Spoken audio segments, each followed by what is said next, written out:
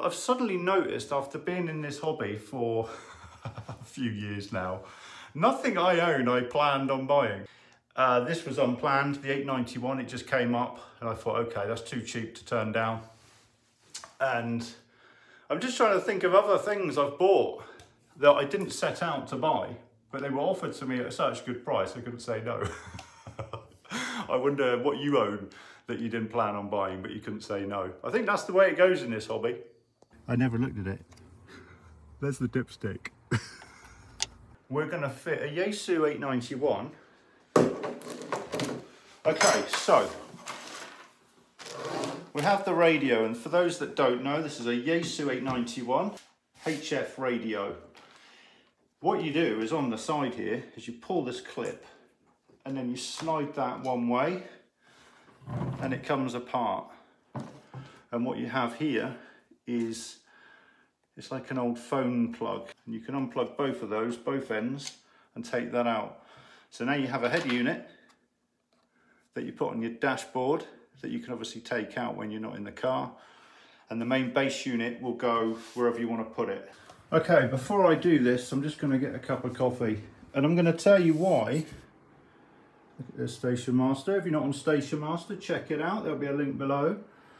So Station Masters, I built this I do all the coding, everything. It's like social media for for ham radio. You can see what frequency people are on, real time, who's doing what, active pile-ups. Uh, every contact that's logged pops up on the right hand side. Loads of people on there. A few people you might recognise. Jonathan M0 JSX, Rowley, Down Under. We've got states on there, Ireland, UK, France, and what's that, Sweden, isn't it? Uh, Sugar Bravo 7 Sugar, that's George. All over the place. It's a growing community. There's, you know, there's a few thousand people registered on the system now, so yeah, come and come on board. Anywho, I'm getting one of these soon, FT101E uh, M0 MSN. Mike has kindly decided to give me one, so thanks, Mike.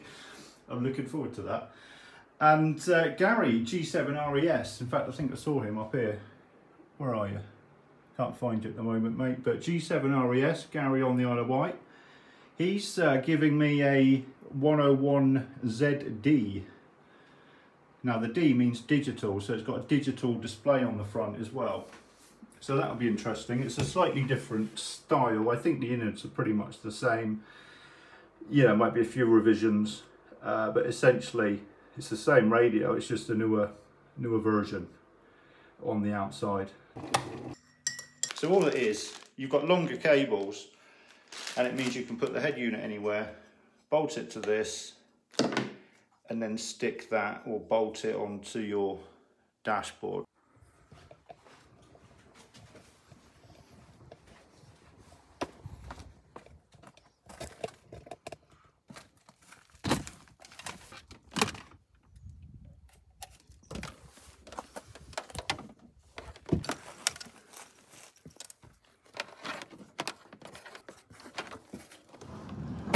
Okay, I've just found the perfect screw. The pleasure would be all mine. You won't be disappointed. One random screw, self-tapping, short, stubby screw in a box. I've been hunting around for about 15 minutes.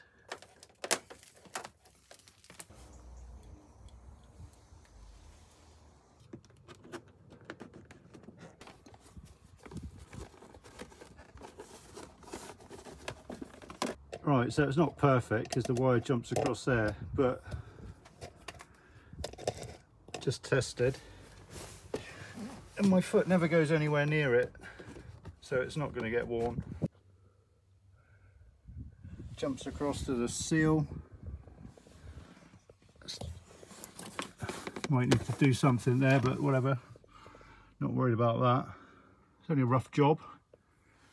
Next job power. To be honest, I'll probably end up just running it on a battery. Um, you know, when you're driving, you're mostly listening, aren't you? So it's only going to be pulling an amp or whatever. So yeah, you're going to be able to do a good few hours round trip just running off a battery, which is going to get less noise. Anyway, we're getting there. Right, I've popped the lid. Baby little battery compared to the truck anyway. Uh, 35 amp hour. Pretty sure the truck's was much bigger than that. Probably twice the size. So yeah, you won't want to park up and run off that, risk running it down. See, that's the injectors. This is where we're getting the noise. So maybe some ferrites on here might help. Who knows? You can but try. Anyway, I bought this off my brother. I never looked at it. There's the dipstick. so I'm assuming the rest of it's stuck in the engine somewhere. I've no idea where the dipstick is. In fact, I've just found it. There it is there. So you can't, okay, so it is sealed up. Just don't push it too hard. Okay, so where are we? We've got the head unit in. That's where I want it. We've run the control lead down under the seat. Control, uh, control unit is just under the seat. It's not bolted down or anything at the moment. It will be by the time I've finished. Um, coax comes in off the roof. There's a little stubby coax uh, connector there for whatever antenna I want to use. And what I'm going to do, I'm just going to use a battery, lithium battery. I'm not going to bother wiring it in. I'm already getting lots of noise off the engine anyway. And I think using power from the car is just going to make things worse. Okay, so the ATAS is on. Although I wasn't planning on using that. Right, so the plan was MAT 40 tuner, and I don't know why it looks that colour. Very odd. It's normally black. I don't know what's up there. Uh, anyway, MAT 40 tuner, which is a random wire tuner. Plan was to bolt that in the back of the car and then have a short stub going up to the antenna mount and then have something like a nine foot whip. That would then tune up on all the bands that I care about and it would probably be just as good as an ATAS, if not better.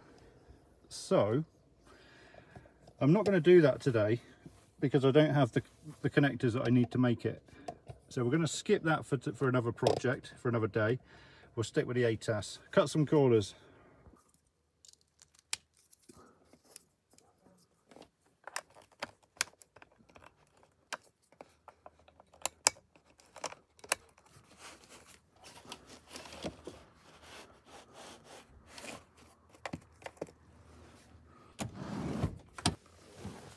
Okay, we're on the LiPo battery. Everything's plugged in. The only thing we don't have is an extension speaker. So all I can hear is the audio coming from the radio under the seat. So that's a bit quiet. So we're on the ATAS. So we press the tune button. Actually, we'll go to, let's go to 40 meters. and then hit the tune button we'll hold it in actually just tapped it. So when we do that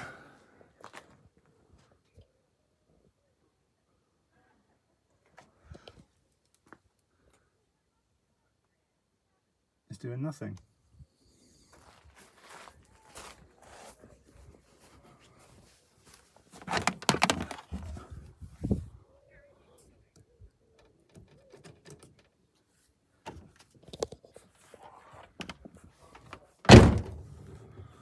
So what should happen is that should go right down. Actually, no, for 40 metres it's going to go up, isn't it? It's going to go longer.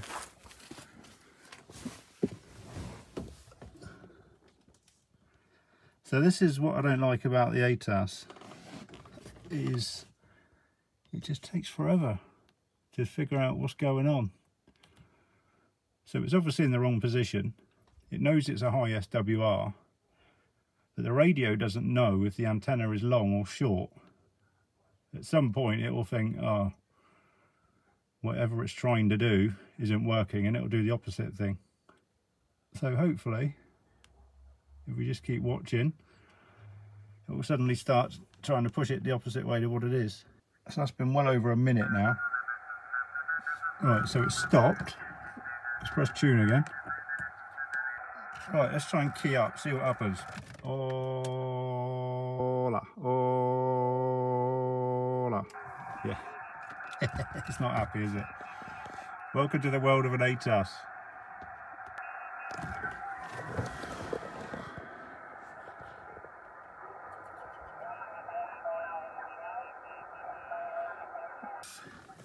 he did say to me, he said if it's not going up and down properly, it's probably an earthing problem on the ATAS. You want to run a an earth wire from the base of the antenna to the body. However, this has worked. When I've tested this before, this has worked fine. Let's turn it off and on again. Right. So the ATAS is not moving.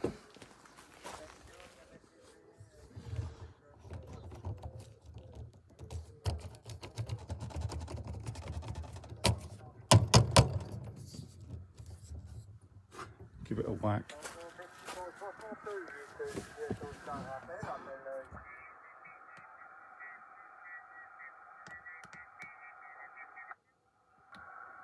Right, we'll turn it off, give it a rest for 10 minutes. I'll unplug the battery, come back and try again. Okay, I think I've figured it out. I think the uh, the ATAS wouldn't charge, sorry, wouldn't move because this wasn't charged. But having said that, I've only plugged it in five minutes ago and it's already green, so it looks like it was charged. Okay, back to the drawing board. This is my daily steak. I've been eating a steak a day and I've lost a stone in the last month, so uh, happy days. Hopefully that will continue. So anyway, yeah, it's tea time now, but I've spent the day putting an ATAS, well not an ATAS, I've been I've spent the day putting an 891 in the car with the hands uh, head free kit, whatever it's called, you know what I mean, separation kit. Oh, what a nightmare. We're going to fit a Yaesu 891, if I can find it. Here it is. Down here on the uh, on the sofa of radios. There's a what have we got here? Let's have a quick look. So we've got a uh, 891 Hermes Lite 2 Yaesu whatever that is 2980 2 meter FM um, 7300 and loads of other bits and bobs. So there this is where I chuck things when I don't need them. Oh there's a camera without a lens cap on it. Well done Stu. Where's the lens cap? Must be there it is. Right we'll put that back later. Uh, so yeah anyway. Gizmos what do we need? What do we need